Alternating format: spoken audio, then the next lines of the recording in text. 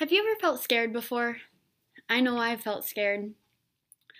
I think we can all agree that this world can feel scary right now because we don't have the answers to everything.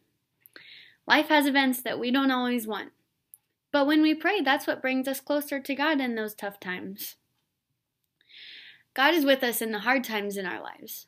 It's easy to have fear when we don't know what's going on. But we don't have to fear because God is always with us, with His arms reaching out to us and keeping us safe. The world can feel out of control sometimes, but we don't have to fear because we know who's in control.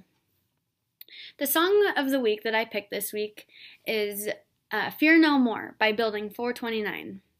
This is a great reminder that we don't have to fear, and sometimes the events in life aren't what we want them to be, but we don't have to fear because God is with us. Here's some of the lyrics from Fear No More. This isn't what I'd choose, but it's where I'm finding you. When I'm broken and undone, your mercy's just begun. You overcome my doubt, your hands are reaching out. You hold me through the storm, and I will fear no more. For religion, you have a Palm Sunday packet. This is a story um, of Palm Sunday, and the packet has different activities that you can do. There's you could choose to do half today and then finish it tomorrow. You could do it all today, um, but I would recommend splitting it up so that you don't have to do it all at one time. Palm Sunday is the story of when Jesus rode on a donkey into Jerusalem. Jesus told his disciples to go find a donkey that has never been ridden before. And when you find it, tell the people, if they ask, that the Lord needs it.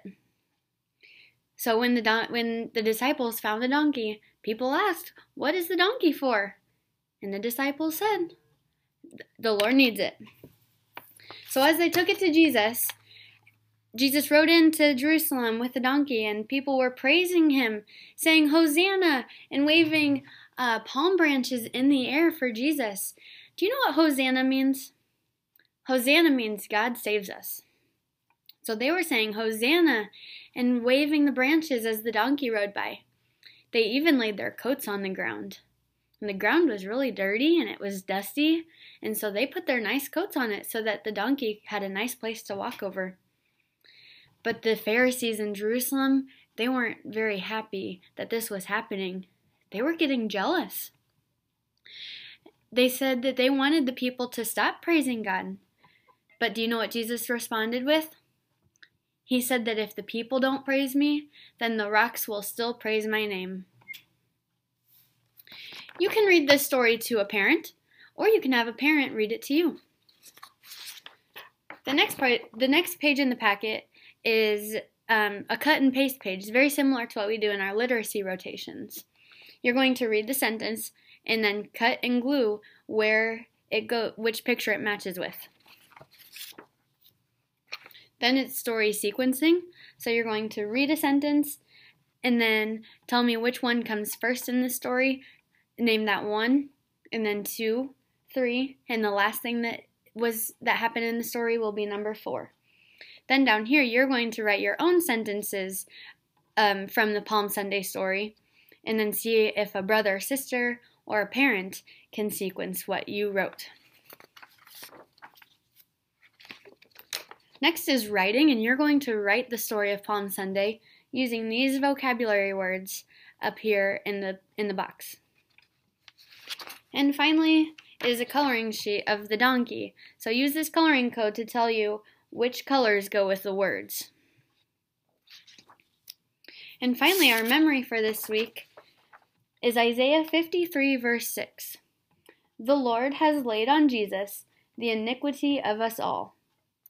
The Lord, being God, has laid on Jesus the iniquity of us all. The iniquity is a big word. Iniquity is our sins. God has laid on Jesus the sins of us all. That means that Jesus died on the cross. He took when he died on the cross, he took up our sins so that we could be forgiven and saved. So, while you're listening to Fear No More, um, you can either sing along with the song or you can draw pictures or write words about what this verse means to you.